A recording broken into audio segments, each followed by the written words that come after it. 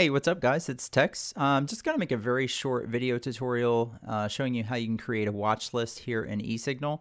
Um, you know, it's it's pretty basic, obviously, creating a watch list. Uh, most people should be able to figure it out. But what I did with mine is I actually categorized stocks into um, kind of like their respective categories. And, you know, these are all stocks that I either watch, have traded in the past, or might trade, just stocks that I, you know, I kind of like.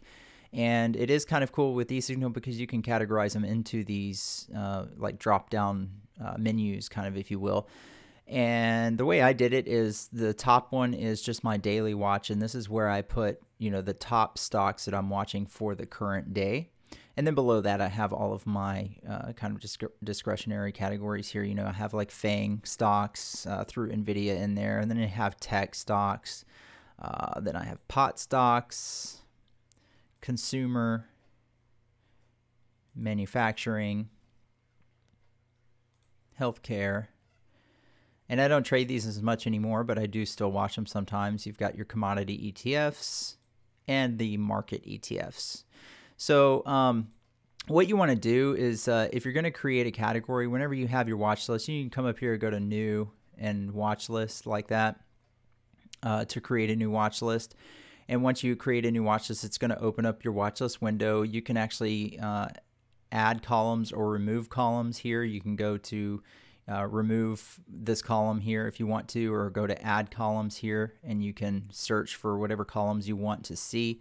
Uh, by default, the watch list is going to have a whole bunch of stuff in there, like the bid, the ask, a whole bunch of stuff that I don't necessarily want to see. I just like to see the last price, the open price, the change, and the volume. Of course, you could have change percentage, I think, but uh, I prefer to see the actual dollar change.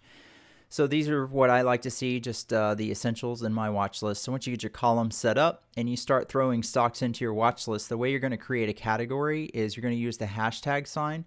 And it's very important that when you do create a category, so for example, if uh, here is my last category in the list, if I wanted to create a new one down here, you have to skip a space between the last stock in this category. So skipping that space, come to this one, you use the hashtag sign, and I'm just going to call it new because I'm not creative enough to come up with something. Hit enter, and now you have a new category, and you can start throwing stocks in there. Um, I don't know, just random, you know, throw a stock in. Uh, okay, so we have a couple of stocks in our new category. And if you want to move this category with all of the stocks in it, you have to first collapse it and then you can move it anywhere you want in your watch list. Let's say I wanted to reorganize these and put market ETFs down below that. So I put skip a space, put market ETFs there, and now when I expand my category, you can see all of the stocks are still there. They all moved with that category. So just be sure you um, collapse your category before you move it around. And then you can come in here and you can actually, well, I don't want that stock in there. You can just delete row. Or if you're you wanted to add stocks to this one, you could come in here and simply insert row. So you make sure you keep that empty space between the categories. And you can keep doing that as, as much as you want to to add more stocks to that category.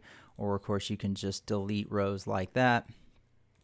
So keeping a space there. Uh, I will just delete this row and that deletes the category but the stock remains. Delete that. And there you go. So that is very basic tutorial how you can create a watch list and organize your watch list into these uh, very nice categories, which uh, is a feature that I definitely like with uh, eSignal. Just wanted to share that with you. Hope uh, hopefully you did find it useful.